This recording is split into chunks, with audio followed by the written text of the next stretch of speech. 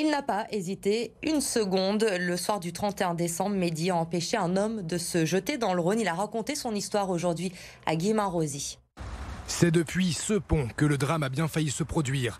À 19h le 31 décembre, sur le chemin qui le ramène chez lui, Mehdi, 36 ans, remarque un passant au comportement étrange et qui, tout à coup, enjambe la rambarde. L'homme est sur le point de se jeter dans le Rhône.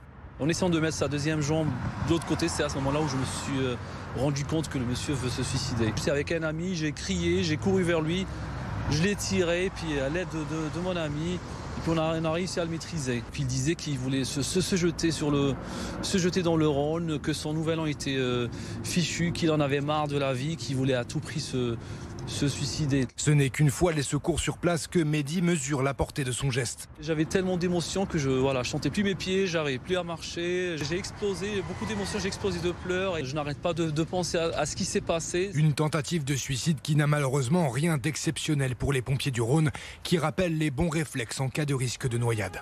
Le plus important, c'est euh, de composer le 18 ou le 112. Ensuite, euh, être très précis sur la localisation. Euh, c'est quelque chose qui est, décisif. Le deuxième conseil, c'est de rester sur place. Ça nous permet aussi de, comprendre ce qui s'est passé et de localiser le lieu d'immersion. Les pompiers réalisent une centaine d'opérations de sauvetage sur les cours d'eau du Rhône chaque année. Le département déplore une dizaine de noyés sur la même période.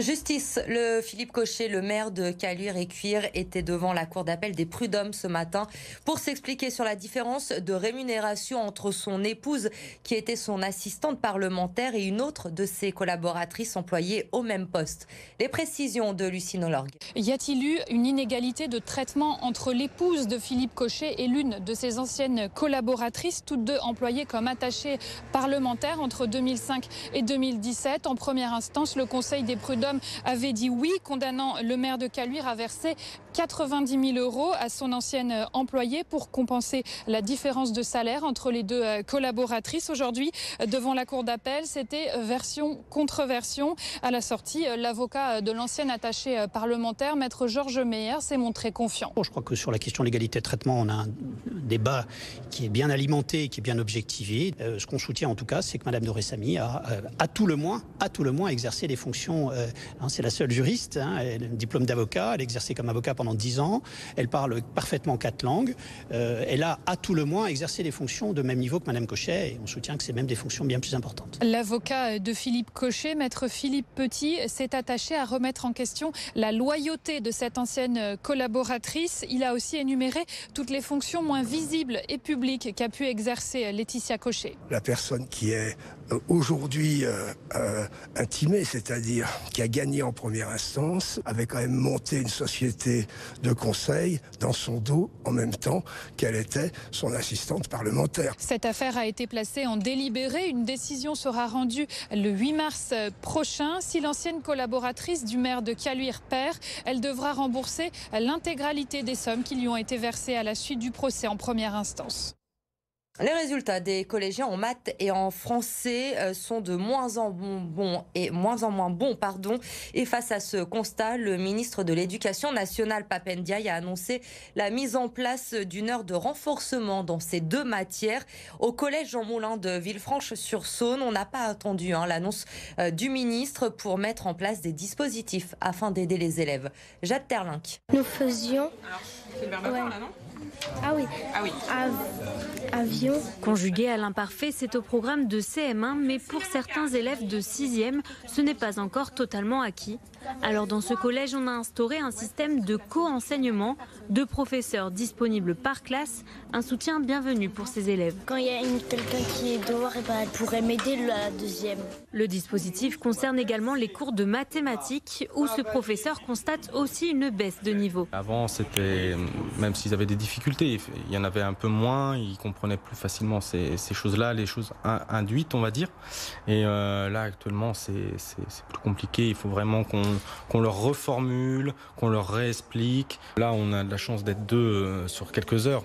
Quand je suis tout seul, eh bien, c'est difficile d'aller voir tous les élèves, d'être tout le temps systématiquement là pour leurs demandes. Ce doublement des professeurs mis en place depuis 2018 ne concerne que les classes de 6e. C'est la classe euh, de, transition entre le système scolaire de, l'école, euh, où les enfants sont avec le, même maître sur la totalité des, disciplines dans la même, dans la même classe, et le système euh, d'enseignement du collège, où les enfants ont une pluralité de, professeurs. Une année charnière ciblée par le ministre de l'Éducation nationale Papendiaï. Dès la rentrée prochaine, un professeur des écoles et un professeur de collège devraient donner conjointement une heure supplémentaire de cours de français et de mathématiques aux élèves de 6e.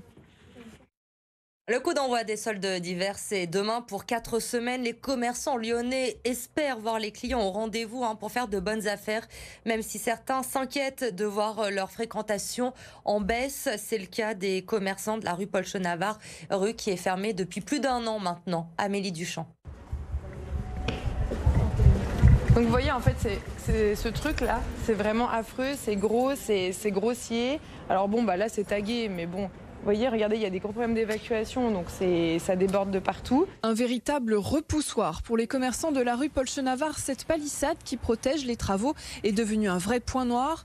Tag, squat, voie réduite et passage dangereux, les clients ne sont plus attirés par le secteur. Personne euh, ne rêve d'avoir euh, devant son commerce euh, un, des murs énormes en béton qui sont tagués, dégueulasses, il n'y a pas d'entretien qui est fait. Enfin non, c'est tout sauf attractif quoi. Franchement, ça donne pas envie de se balader, dans notre rue, ça donne pas envie d'acheter, ça donne pas envie de consommer et franchement, c'est dommage parce que parce qu'on perd cette clientèle là qui enfin les touristes euh, qui pour nous est essentielle quoi. Sur l'année 2022, le chiffre d'affaires de certains magasins a baissé de 30 Alors les commerçants aimeraient que la zone de travaux soit réduite pour améliorer l'accessibilité à leurs boutiques. Ils aimeraient aussi que les plots en béton soient remplacés par des bacs à fleurs plus attrayants, des propositions ignorées par la mairie on sent qu'il n'y a pas de réflexion pour arranger, pour faire en sorte euh, euh, d'arranger l'environnement immédiat du, chantier. On sait que le chantier est là.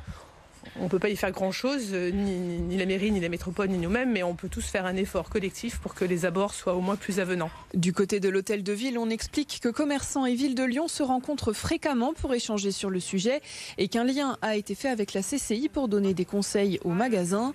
La ville rappelle qu'une expertise judiciaire sur le bâtiment est toujours en cours. L'Olympique lyonnais se déplace à Nantes demain soir pour le compte de la 18e journée de Ligue 1. Deux équipes qui ont besoin de prendre des points en ce moment, mais au-delà de l'enjeu sportif, ce match, c'est aussi euh, l'histoire d'une profonde amitié entre Laurent Blanc et Antoine Comboiré. Clément Lanuc avec Édouard G. C'est un rendez-vous qu'ils ont coché. Un match qu'ils ne veulent pas manquer. La seule différence, là, vous avez dit, parce que c'est mon ami. Moi, c'est pas un ami, c'est un grand ami. Laurent Blanc, Antoine Comboiré, une rivalité sur fond d'amitié, deux personnalités du foot français au style opposé. C'est ce que je recherche un peu chez lui, c'est quelqu'un de sage, calme. C'est mon opposé, voilà.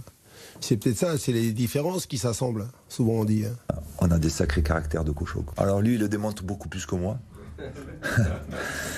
de deux ans son cadet, l'entraîneur lyonnais a eu l'occasion de se jauger au Nantais, d'abord crampon au pied, en fait, on s'est connus très tard puisqu'on a joué l'un contre l'autre, se marquer de la tête. Et puis après, c'est des amis en commun euh, qui nous ont rapprochés. Une tournée en Nouvelle-Calédonie, voilà. Il est venu avec son épouse et euh, ils sont venus euh, chez moi. Puis il a, il a compris la culture, quoi. Il a compris d'où je venais. Diplômé la même année en tant qu'entraîneur, les deux hommes se sont retrouvés à huit reprises sur un banc. Cela a souvent souri à Laurent Blanc. C'est toujours particulier, mais lui comme moi, on sait très bien que euh, au coup d'envoi, il n'y a plus, a plus d'amis. On n'a qu'une envie, tous les deux, c'est de voir nos, équipes respectives gagner. Donc on ne se fera pas de cadeau, jamais de la vie, jamais. Et c'est comme ça qu'on se respecte. Quel que soit le résultat, la poignée de main promet d'être plus chaleureuse que d'habitude.